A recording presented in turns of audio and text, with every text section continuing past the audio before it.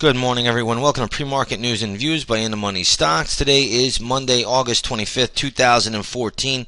Thank you all for tuning in. Let's jump right into the charts here. We're going to start off with the S&P 500 E-mini futures. You're going to see that the futures are trading higher this morning by about seven points to 1994 and three quarters per contract. Uh, an open like this should put the spiders over 200 this morning, and you're going to see that the spiders are trading just above the 200 marker, very psychological number. Cash S&P should open above the uh, very psychological 2000 number, so we'll see how that all plays out once the opening bell rings. However, um, the market seems to be getting a little bit excited over a Mario Draghi speech, saying how they're going to be uh, potentially uh, providing more out of the box stimulus to the European Union. And I think this is uh, helping the markets, at least at the moment. But this should not uh, be a sign of strength or viewed as a sign of strength, in my opinion. So I'd be very, very careful today, um, especially into tomorrow. Uh, with with this kind of uh, rhetoric that's going on over there in Europe. So when I looked at all of the European markets this morning, uh, they're all trading higher. German DAX is up about 1%. The French CAC 40 is up about 1.2%. Uh, England, which is not part of the European Central Bank functions, they can print their own money. They have their own central bank. They're basically flat on the day, unchanged, actually down about three points this morning. So we don't want to make much out of that. But it looks like uh, the U.S. market is taking the European lead at least before the opening bell. But I'd be a little bit getting a little bit concerned up here with the uh, S&P being where it is and um, the catalyst that is providing that move higher. So again, be a little bit cautious today. I would be at least. I'm not sure how much more upside this market has in the cards. All right, let's talk about some stocks in the news. Uh, there's some mergers out there, or at least potential mergers. The first one I'm seeing is uh, Intermune, ITMN, is being bought out by Roche today. So this year is uh, flatlining now. If you own Intermune, congratulations. Um, just trail your stop loss. But um, this is a takeover. This is probably just going to go sideways the remainder of the trading day, right around the $73 level. This stock did close at $58, $53.80, so it's a tremendous pop there uh, for Intermune. That's about a 36% premium, $19.5 pop uh, from the close. So if you own it, congratulations. If you don't own it, you don't want to do anything with it. If you own uh, Roche, which happens to be RHHBY, um, the stock is selling off a little bit. Again, it, it may trade down to around 34.50. That's where I'm seeing support for RHHBY, which is Roche Holdings. So again, Roche not showing a lot of strength, but that's uh, common when they're the acquiring company. So again, if Roche goes down to around 34.50, 34.55, right around there, that's where you could probably look for a bounce in Roche intraday. So keep that on the radar. We also want to look at Tim Hortons today. They're being uh, supposedly uh, bought out by Burger King. Um, so Tim Hortons, um, which is Canadian based, uh, is being bought out by Burger King. The stock closed at $62.84 on Friday. It is now trading at $72.40. Did trade as high as 74 bucks. This probably chops around in this area, but nonetheless, um, I wouldn't do much with it. I would not be a buyer here. Again, if you own this stock, you really just put a, a, a trailing stop loss in and you try to ride it out. And uh, you know it's a great move. Stock closed at sixty-two dollars and eighty-four cents. It's at seventy-two fifty at the moment. Tremendous, tremendous pop, and that's on the speculation that Burger King is going to buy them. Let's take a look at BKW, which is Burger King, and that stock's also catching a bid. Uh, the stock closed at seven, twenty-seven dollars and eleven cents. Now trading at thirty-one dollars. Uh, I don't know how much upside is in Burger King, to be honest. I wouldn't touch Burger King with a 10 foot pole here at these at these levels. But uh, either way, uh, the stock is up, and they're the acquiring company buying out uh, Tim Hortons. Let's take a look at Ann, which has been in the news recently. Uh, Ann Inc. is it's called now. Uh, the stock is being acquired by several activists, I believe. So uh, that's the reason for the move at the moment. So you're getting some activist pressure. Activists have taken hold. I would not buy the stock at all. I think there's a ton of resistance at $40. As you can see, that level has already been deflected. If it can get through 40, then it could have some real potential upside. But right now, 40 looks like a wall of resistance, in my opinion. And again, activists or you know hedge funds are involved there, and they're saying the company could be broken up or strategically you know handled in a different way. Basically, they have ideas to get uh, more cash out of the company. You know that's that's that's what we see a lot of these days.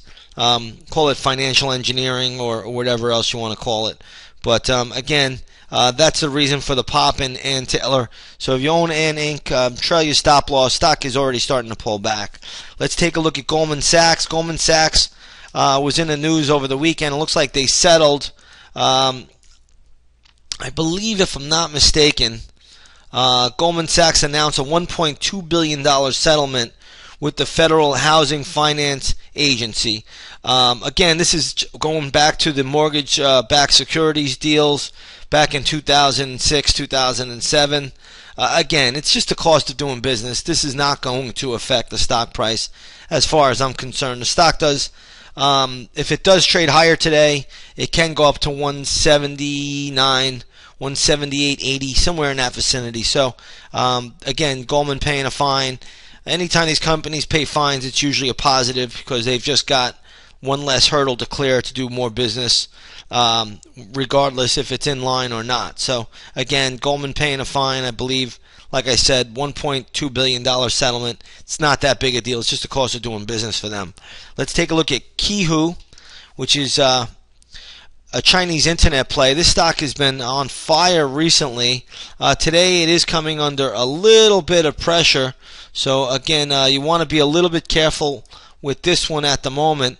Um, right now, if I'm looking at uh, the news here, um, I'm not really 100% sure why it's uh, it's selling off, but nonetheless, um, it is coming down. A level I have for you here would be $90.50 also $89.45. So those are some levels you can look to play Qihoo.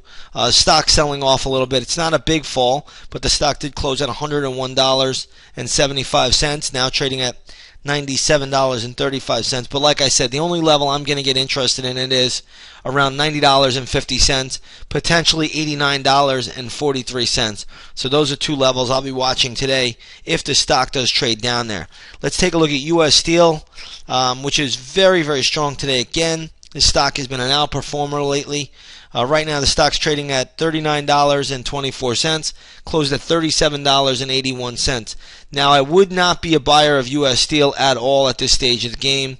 I would be extremely cautious, extremely uh, skeptical. The stock um, is making a pretty sizable move, but all in all, um, it has had a big run already. So be very, very careful with U.S. Steel. This is coming on an upgrade, I think, from Credit Suisse. Who cares? Um, either way, the stock is up.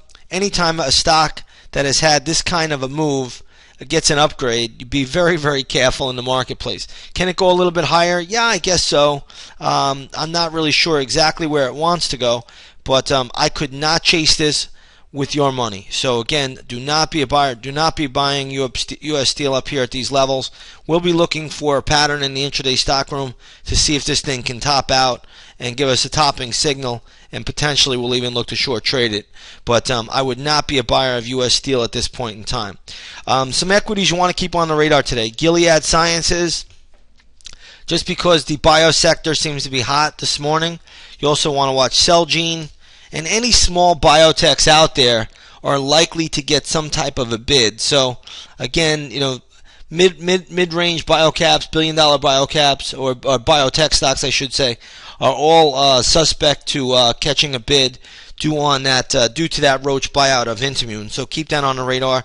A lot of times stocks will trade up in sympathy with other stocks, and um, you saw that here at least initially early, and now Celgene is pulling back, but nonetheless the stock is still positive on the trading day. All right, let's go over to some uh, some commodities here. Gold is trading down a dollar twenty to twelve hundred seventy nine dollars an ounce. So gold futures down a little bit. Let's take a look at the GLD. GLD is sitting um, right at this 123 level. Has a lot of support still at 122.50 if you ask me. Um, we'll see where it goes. I don't see a good pattern yet to own it, but uh, nonetheless, this is what we are looking at.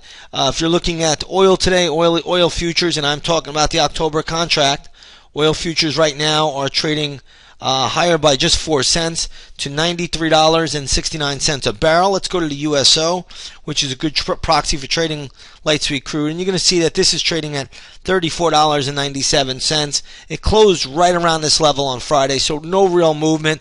The only level I see for USO is around 34.05, 34.06. So that I would not be getting in front of oil right now. Oil's been very, very weak uh, recently, despite all of the geopolitical events that are taking place in Russia and the Ukraine, also in the Middle East. Um, we're not really seeing oil show any strength. So that is not a sign of relative strength. It's a sign of relative weakness. Again, we got to look for oil to go lower before we could play that. With that being said, everybody, I think I've covered everything I wanted to get through today in today's video. I want to wish you all a great trading day. And again, we'll see you all on the charts.